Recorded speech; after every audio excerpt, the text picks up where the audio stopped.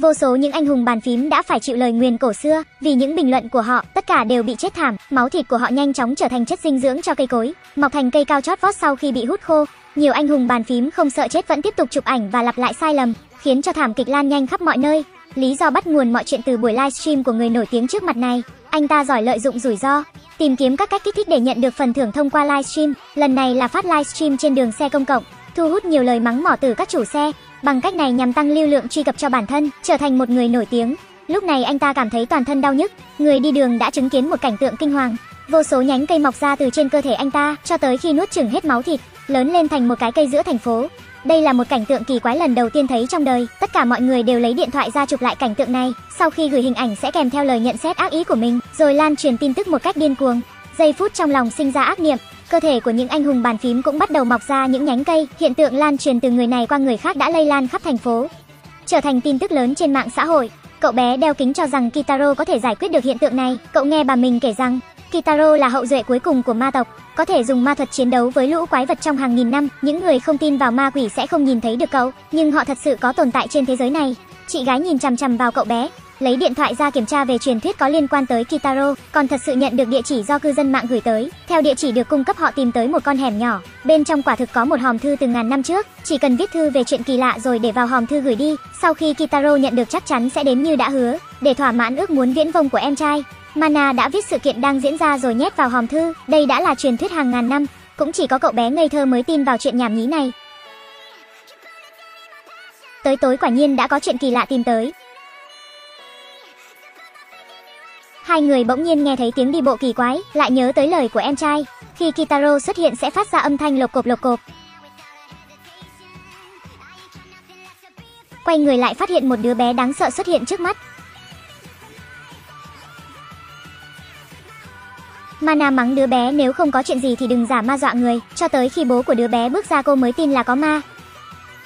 Bạn không nhìn nhầm đâu người có con mắt này là bố của Kitaro, cụ thể là sinh Kitaro ra như thế nào? Thì các bạn tự đoán đi nhé. Mắt bố sau khi nhận được thư đã xuyên tới hiện đại, nghe nói ở đây xảy ra sự kiện cây quỷ nên tới để diệt trừ. Sau khi Mana cho ông nắm rõ tình hình trên điện thoại, mắt bố vừa nhìn cũng đã nhận ra là cây hút máu. Cây ma cà rồng cổ xưa chuyên hút máu thịt của con người làm chất dinh dưỡng, nhưng ác linh này đã bị phong ấn từ hàng ngàn năm trước, làm sao nó có thể thoát ra được chứ? Mana tìm thấy câu trả lời sau khi xem video của Charatomi, bắt nguồn từ Charatomi tìm kiếm cái chết, đã xé phong ấn để tìm kiếm kích thích, liền nhận được nhiều lượt like và bình luận. Sau đó ba người đi tới địa điểm phong ấn, tóc của Kitaro đã nhận được tín hiệu, cho biết có quái vật đang tiếp cận tới bọn họ, là một sinh vật trong suốt có 6 chân, chui ra từ ống thoát cống. Mana không thấy gì lập tức lên tiếng, làm gì có cái gì đâu. Nobiagari biết mình đã bị phát hiện, bắn đòn tấn công mạnh mẽ tới phía của Kitaro, sau đó vươn những cánh tay có thể vươn dài tới vô hạn, ấn Kitaro lên tường, rồi nhét hạt giống của cây ma cà rồng vào người cậu. Sau khi thấy Kitaro không thể chống cự nữa liền rời đi, hạt giống cây ma cà rồng được gieo vào cơ thể, liền điên cuồng sinh trưởng, cuối cùng máu thịt vẫn sẽ trở thành chất dinh dưỡng cho cây. Bố ơi, Kitaro. Kitaro đã chết nhưng vẫn hoàn toàn chưa chết hẳn, bởi vì trên cây từ từ nở ra một bông hoa. Sau khi hoa kết trái Kitaro cũng sẽ sống lại. Vì sự sai lầm của Mana suýt chút nữa đã giết chết Kitaro, nhưng cô thật sự cũng không nhìn thấy gì cả. Mắt bố giải thích, mắt thường không thể nhìn thấy được tất cả mọi thứ trên đời này. Rất nhiều linh hồn ma quỷ đang lẫn lộn ở nơi mà mắt thường không thể nhìn thấy, tất cả chúng sẽ bị thu hút bởi phần bóng tối trong mỗi con người. Tiếp đó cây ma cà rồng của Kitaro nhanh chóng khai hoa kết trái, cậu cũng nhảy ra khỏi trái cây. Kitaro, sau đó ba người đến nơi mà họ đã chiến đấu trước đó. Mana lần này đã nhìn thấy được sự tồn tại của Nobiagari, bởi vì tin vào sự tồn tại của ma quỷ nên cô mới có thể nhìn thấy. Tiếp theo là tìm cơ hội tiêu diệt Nobiagari. Tông lao thần trưởng, Mọi bộ phận trên cơ thể Kitaro đều có thể sử dụng làm vũ khí, phi tiêu tóc.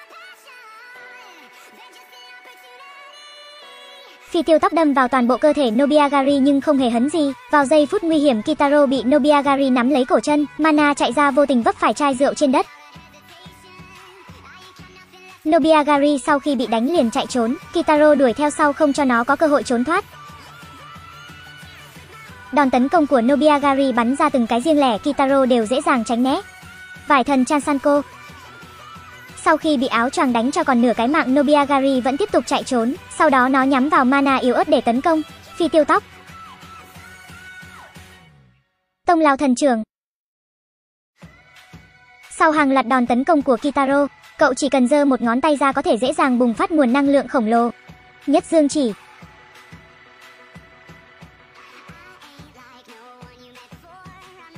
Yêu quái bị tiêu diệt nên pháp lực của nó cũng bị giải trừ theo. Những anh hùng bàn phím bị biến thành cây ma cà rồng cũng trở lại hình dạng ban đầu, vốn nghĩ rằng mọi chuyện đã kết thúc, nhưng Kitaro lại bị tấn công bất ngờ. Cậu bị một người đàn ông mặc áo đen bí ẩn nhắm bắn mũi tên độc sau lưng, Kitaro bị bắn vào thắt lưng lại một lần nữa xuống hoàng tuyền. Nữ phóng viên bị sau khi bị xét đánh chết bất đắc kỳ tử ở nhà, cô đã bị sát hại nhưng không ai tin vào câu chuyện của cô, bởi vì tên đó đã thông qua dòng điện để hạ thủ với cô gái yếu đuối. Tại sao hắn lại chỉ ra tay với cô phóng viên này? Đến mức bị trừng phạt mà cũng không biết sám hối. Sự việc phải bắt đầu kể từ chuột nhắt, bởi vì nợ ông trùm xã hội đen một số tiền lớn nên bị bắt. Vì không có tiền trả nên đã bị xử. Hắn bị đẩy xuống từ một tòa nhà cao tầng, lúc hắn cầu xin thần tiền cứu mạng, thần tiên quả thật đã triệu hồi ra một tiểu hành tinh khổng lồ, cả nhóm chuột nhắt bị hút vào trong. Thứ hắn nhìn thấy đầu tiên là một đôi chân khổng lồ.